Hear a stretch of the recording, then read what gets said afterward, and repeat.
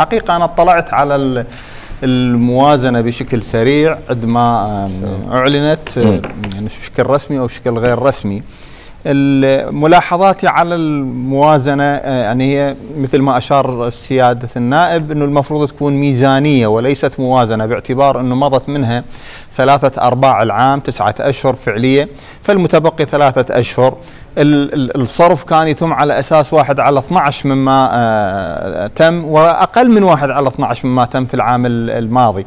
الملاحظة الأولى على الموازنة أنه هي موازنة عدلت الموازنة التي قدمت من حكومة السيد عادل عبد المهدي وتم التعديل عليها.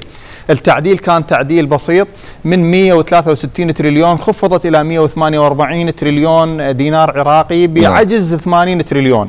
وهذا الأرقام كبيرة ومبالغة عليها. يعني عندما ندخل على موقع وزارة المالية تشوف الستة أشهر الأولى للإنفاق من واحد واحد لغاية 30 ستة. كان إجمالي الإنفاق حوالي 33 تريليون ونصف. زين.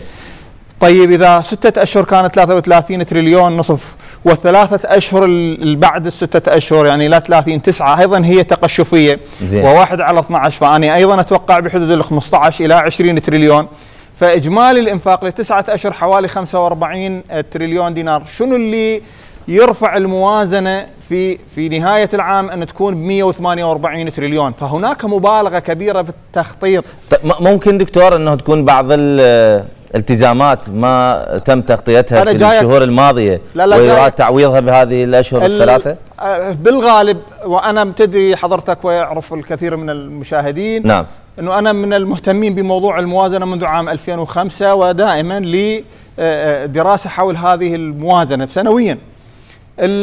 دائما الموازنات تنظم بعجز وعندما تتعرض الوضع الاقتصادي يتعرض إلى مشكلة أول ما نوقف النفقات الاستثمارية.